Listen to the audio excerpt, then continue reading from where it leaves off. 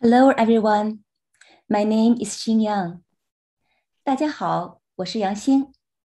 I work at VMware in the cloud storage team. I'm also a co-chair in CNCF Tag Storage and a co-chair in Kubernetes SIG Storage. Here is my co-speaker, Nick. Hello, my name is Nick Ren. 大家好，我是任玉全。I come from ByteDance, and I am now focusing on Kubernetes-related work. Thanks, Nick. Today, we will talk about how to keep persistent volumes healthy for stateful workloads. Here is today's agenda.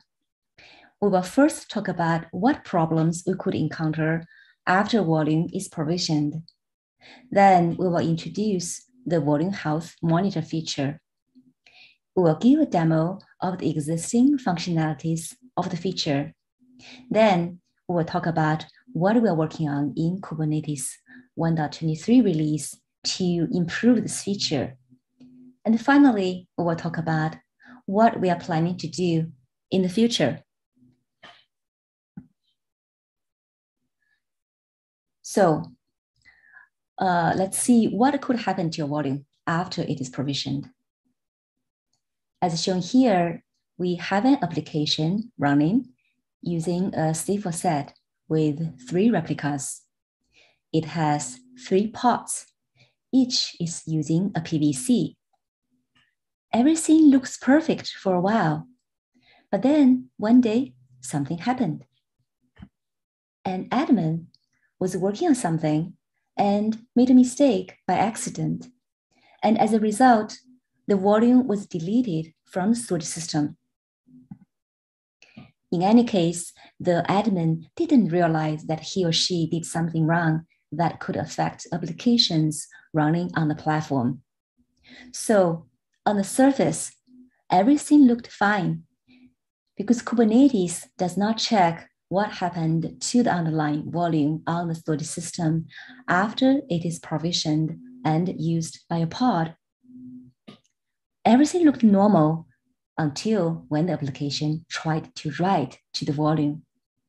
Then, of course, it failed. Now the user tried to figure out what happened by checking the logs, but there are no clear messages that indicate the volume was deleted. So the user opened a ticket with the infrastructure team. Then the infrastructure team started to troubleshoot the problem it is not easy for them to root cause the problem either, as there isn't enough information in the logs. So it's going to take a while for the real problem to be discovered.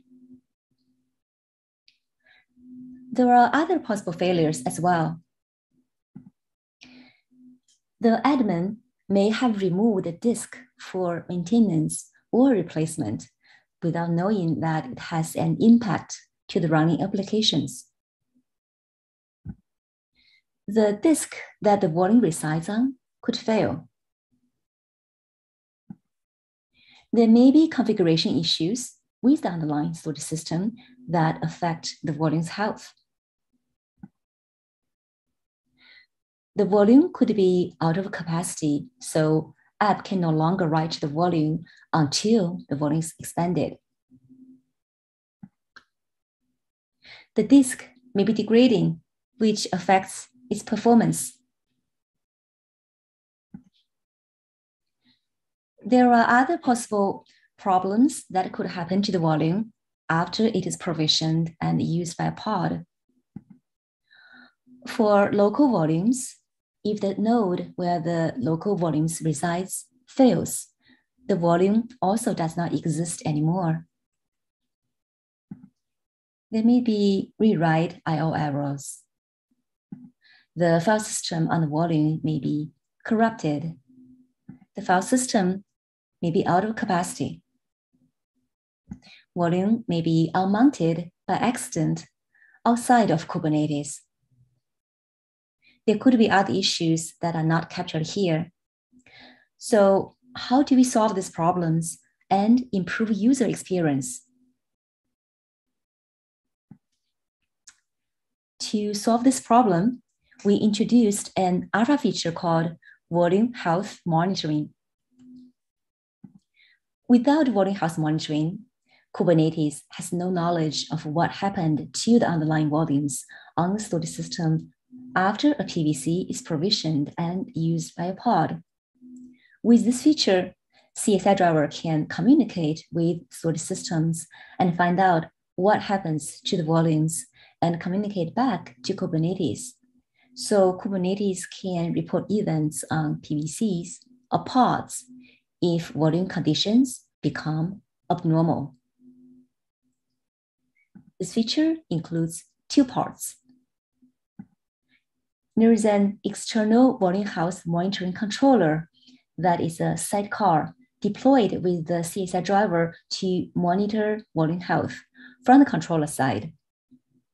It reports events to the PVC when abnormal condition is detected. Kubelet also monitors volume health from the node side. It reports events to the pod when abnormal volume condition is detected.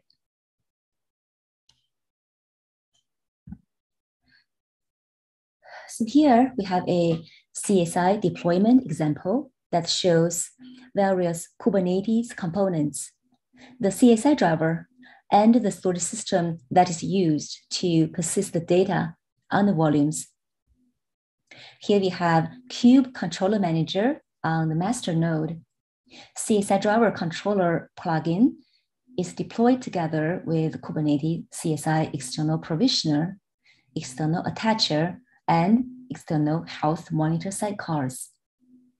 Note that the CSI driver controller pod does not have to run on the same node as the Kubernetes master, but it is recommended to run on dedicated control plane nodes. The Kubernetes CSI sidecars are watching Kubernetes API objects such as persistent volume claims, persistent volumes, volume attachments to detect create volume, attach volume requests. The sidecars call the CSI driver, and the CSI driver communicates with the storage system to complete those volume operations. The external health monitor controller works differently from other sidecars it periodically calls CSI driver to retrieve volume health information from underlying storage systems. On Kubernetes worker nodes, we have Kubelet and the CSI driver uh, node plugin deployed together with the node driver registrar Sidecar container. Node driver registrar fetches driver information using node get info from a CSI endpoint and registers the CSI driver with the kubelet on a node. Kubelet directly issues CSI node get info, node stage volume, and node publish volume calls against CSI drivers to get info and mount volumes. Kubelet also periodically calls node get volume stats to get volume stats information including volume health information. Now, let's take a closer look of the external health monitor controller. This controller calls either list volumes or controller get volume CSI RPCs and reports volume condition abnormal events with messages on PVCs if abnormal volume conditions are detected. If the CSI driver supports list volumes and volume condition controller capabilities, it must implement controller RPC list volumes and report the volume condition in response. If a CSI driver supports get volume and volume condition controller capabilities, it must implement controller RPC controller get volume and report the volume condition in the response. If a CSI driver supports uh, both list volumes and get volumes and volume condition controller capabilities, In that case, only list volumes CSI RPC will be invoked by the external health monitor controller uh, due to performance considerations. There is also a node watcher component in the controller. If the enable node watcher flag is set to true when deploying the external health monitor controller, node failure events will be watched. So when a node failure event is detected, an event will be reported on the PVC to indicate that pods using this PVC are on a failed node. The controller side volume monitoring has been alpha since Kubernetes 1.19 release. Now let's take a look of the health monitoring feature from the node side. When health was first introduced in 1.19, there was an external health monitoring agent that monitors health on the node side. In 1.21, we made a design change to avoid duplicate CSI RPC calls. Kubelet already calls node get volume stats to retrieve volume metrics such as available, total, and use uh, capacity. In addition to that, now it also retrieves volume health condition through node get volume stats CSI RPC call and reports volume condition abnormal events with messages on pods if abnormal volume conditions are detected. Only CSI drivers with volume condition node capability support volume health monitoring in kubelet. We added a new alpha feature gate called CSI volume health in 1.21 release to introduce this feature in kubelet. Here is how volume condition is defined in the CSI spec. If there is a problem with the volume or the storage system, the abnormal field in the volume condition should be set to true.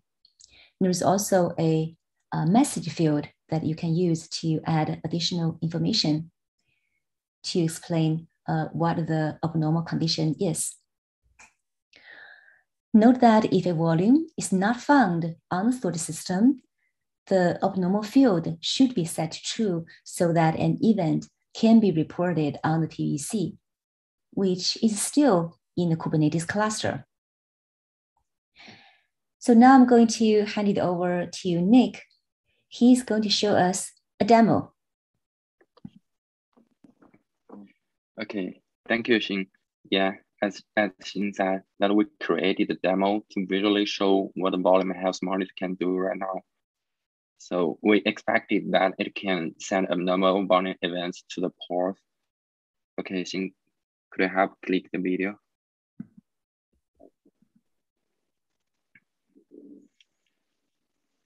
Yeah, first we uh, we will need to set up a Kubernetes cluster locally using the local up cluster script provisioned in Kubernetes repo, and the Kubernetes version I choose is 1.18.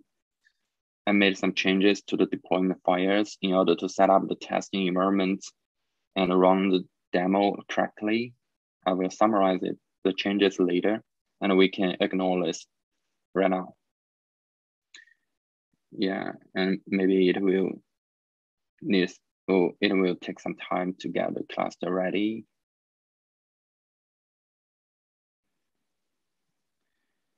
Yeah.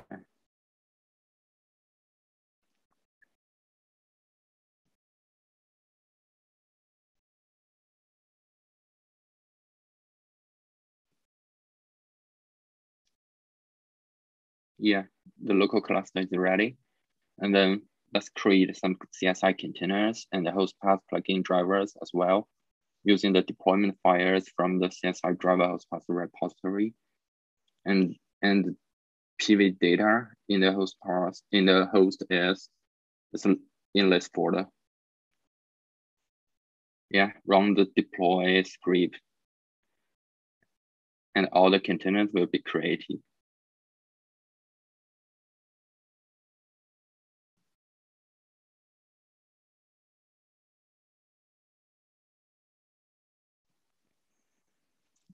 Okay, so after that, we will create a storage class and a PVC and as well, and a pod as well. So let's create the storage class and the PVC.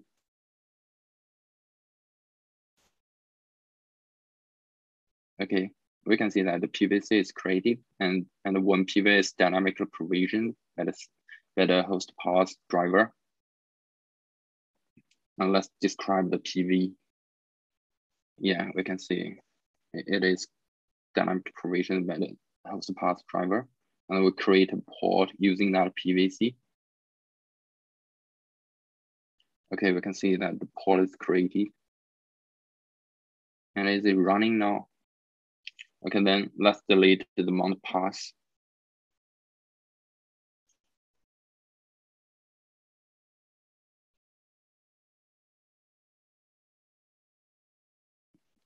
Okay, after delete after we deleting the mount path, we expected that the volume health monitor can send abnormal events to the pod. Okay, so let's describe the pod.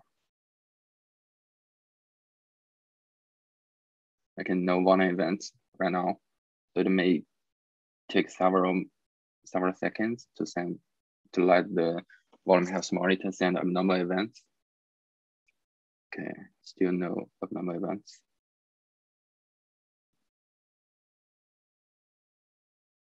Yeah, okay, the abnormal events is here. So we can see the the, the abnormal event at the monitor works as expected. Okay, next please.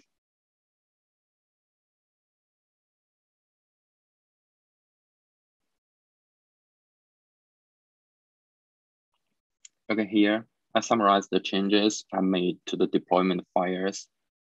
So uh, since the since some storage driver containers need privileged security option, so I set allow privileged flag to true for API server. This is the only change I made for, for Kubernetes. And another one, I made a small change to the host path plugin YAML file too. Uh, and I changed the CSI provisioner uh, image version to version 3.0.0 and the previous the previous version has some bugs. Yeah.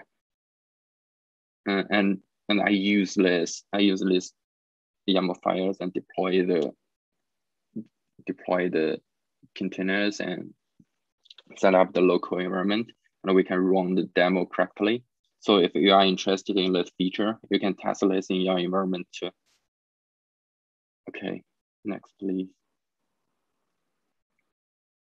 Okay, uh, since I just know that the node side monitor component is kubelet, but actually we create an external agent which is responsible for node-side monitoring work at the beginning. But finally, we decided to move all agent work to Kubelet. So for now, Kubelet will be responsible for checking volume health conditions periodically and sending abnormal events if it finds problems.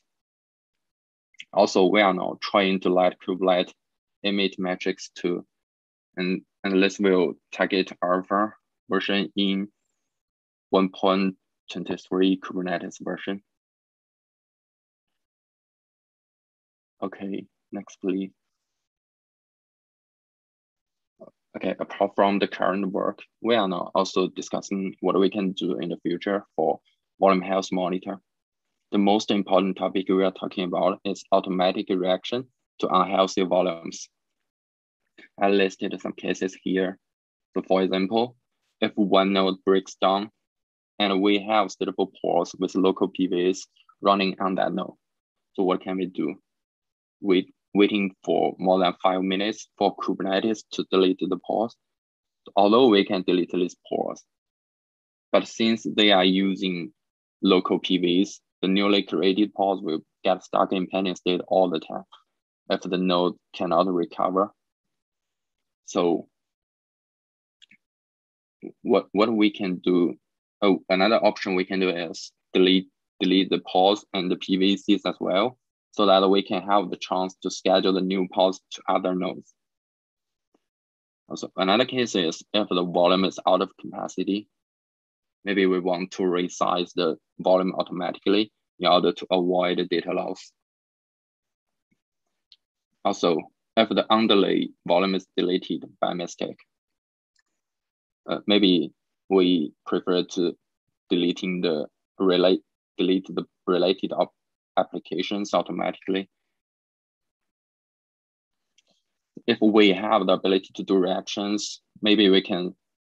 Another thing we can we want to do is support push mechanism to so customized drivers can report problems by themselves. Maybe you will need to add a new PV or PVC status condition to indicate whether the underlay volume is healthy or not. And the reaction part can react to this status condition. And some users are asking for this feature too. So maybe uh, there are maybe some other important features we need we need to add for volume health monitor. So we can discuss this offline if you have any ideas. Okay, next, please.